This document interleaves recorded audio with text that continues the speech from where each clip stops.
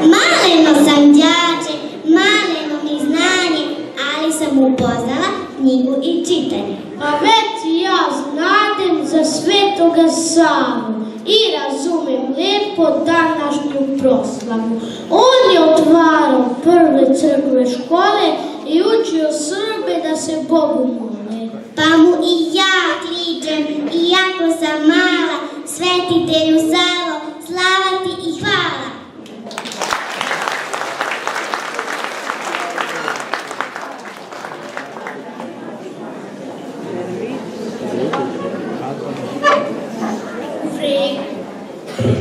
Vreme kad je Vizantija počela da propada, nekako iznenada, kao poklon od bogorodice svete, rodi se jedno Božije dete.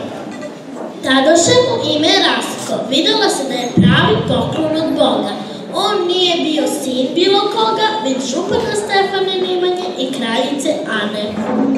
Kad je odrastao, postupio je poput pravog dobrotvora i odrekao se dvora, pa je umesto lepom dvoru otišao u Svetu goru. Dao je svom narodu veliki dar, napraviši zajedno sa ocem veoma lepi hilandar.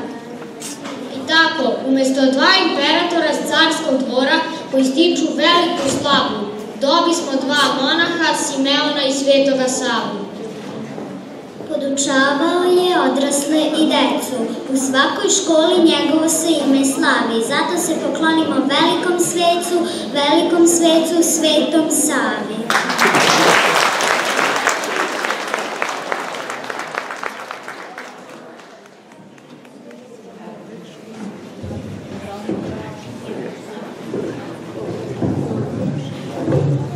Pozdrav! Srećna vam slava Srbi čestiti svetoga Save koji vas štiti. Danas se slavi svetitelj Sava, crkve i škole vrhovna glava. Slava je ovo značajna, redka, veliki usks, velikog petka.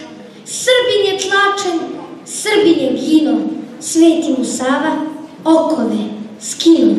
Njegova miso nije mu dala trpeti ropstvo, ni pokor zala. Srbin je sve to hrabro podneo, dok nije svanao danak mu beo. Mnogo ti hvala, naš sveti Sava, ponosna slava, vrhovna glava, što je sad srpstvo sa sviju strana, jednoga krova, jednoga stana. I tebi hvala, o Bože pravde, što svetog Savu Srbinu dade. Podaj mu i sad čelične snage i mnogo tvoje pomoći blage.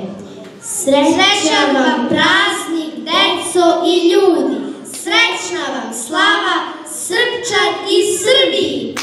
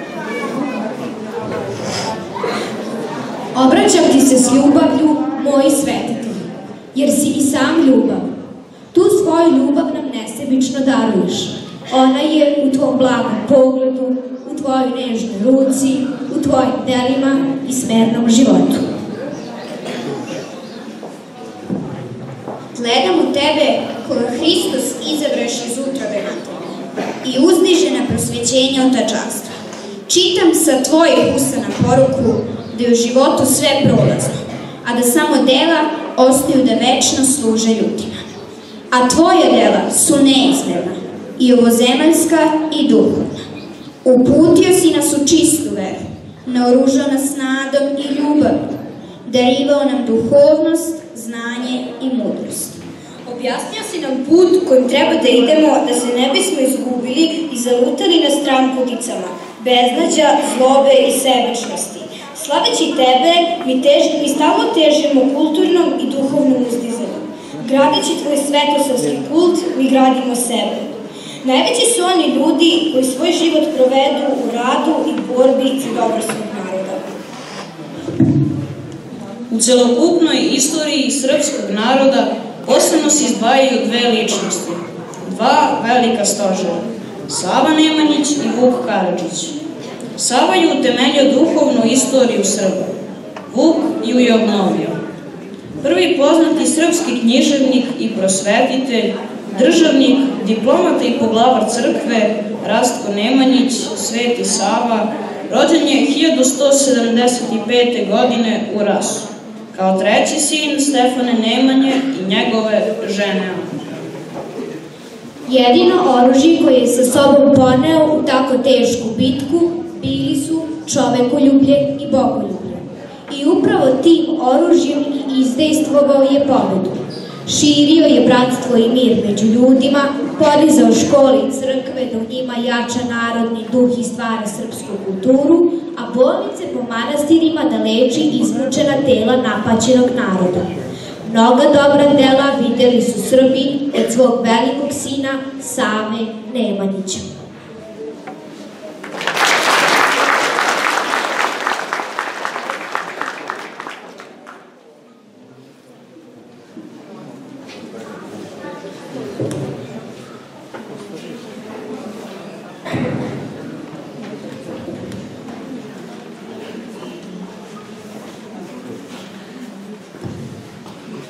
Zaveštanje Stefana Nemanje o jeziku.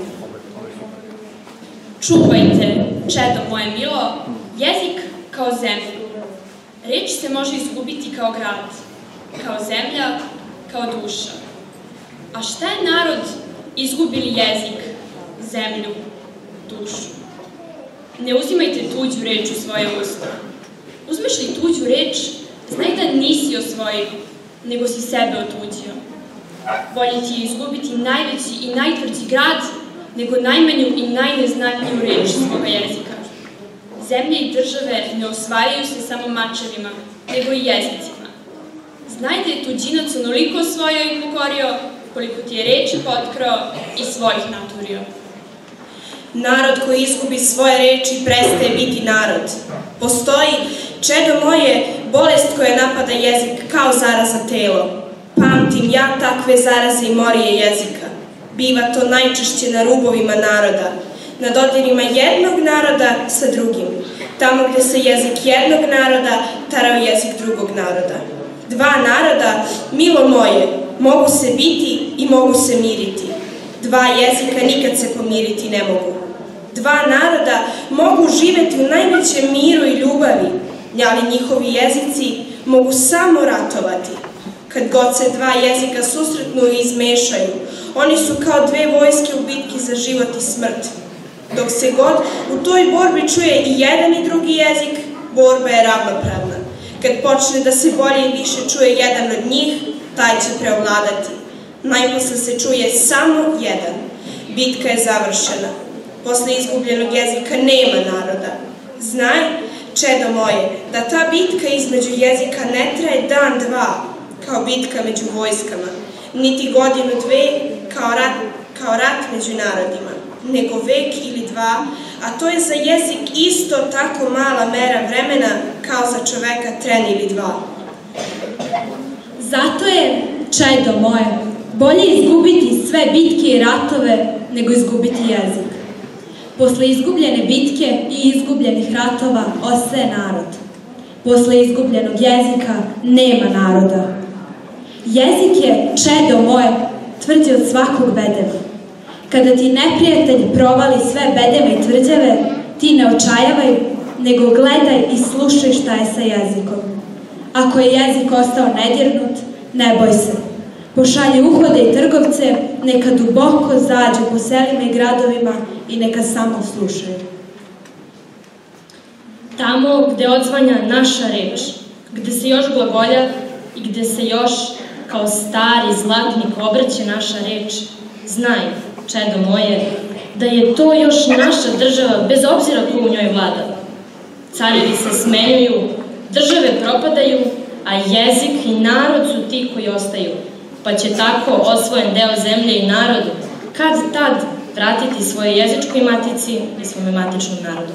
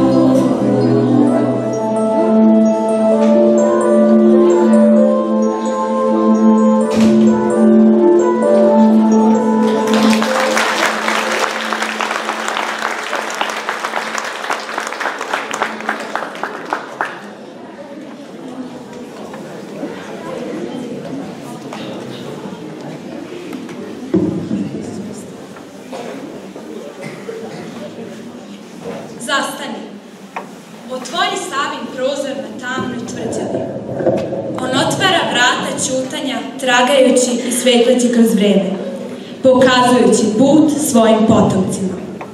On raspiruje plamen našeg ognjišta. Oslušni i čućeš zvona Metohije. To zvone zvona Svetosavlja, dok vene i pada još jedna latica crvena sa božura. Sava pomiri zavađenu braću. Ugasi pohlepu i mržnju, bleštavilo i raskoš prolaznosti. Otvori Savin prozor na duhovnoj kuli života i čućeš Savin zavet.